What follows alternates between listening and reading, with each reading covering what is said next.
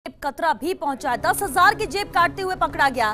कार्यकर्ताओं ने जेब कतरे की धुनाई भी की। जेब कतरे को पुलिस के हवाले किया गया है। तो मनिया की सभा में एक जेब कतरा भी पहुँचा और उसे हालाँकि पकड़ लिया कार्यकर्ताओं ने और इसके बाद पुलिस के सुपुर्द किया है। दस हज़ार रुपए की जेब काटते हुए ये धरा गया। जेब कतरा, ये तस्वीरें आप देख सकते हैं।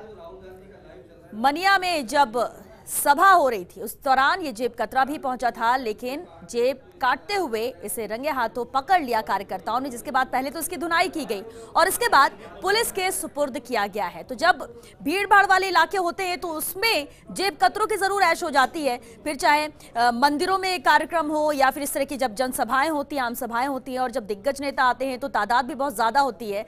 और ऐसे में ये जेब कतरा भी यहाँ पहुँचा हुआ था मनिया, लेकिन जेब काटते हुए इसे रंगे हाथों पकड़ा गया। इसकी धुनाई की कार्यकर्ताओं ने फिर पुलिस के सुपुर्द किया गया। एक्सक्लूसिव तस्वीरें आप देख सकते हैं।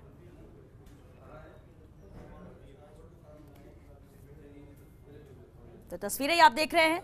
मनिया में जनसभा को संबोधित किया राहुल गांधी ने, लेकिन इस दौरान ये जेब कतरा था जो लोगों की जेब काटने के मकसद से यहाँ पहुँचा था।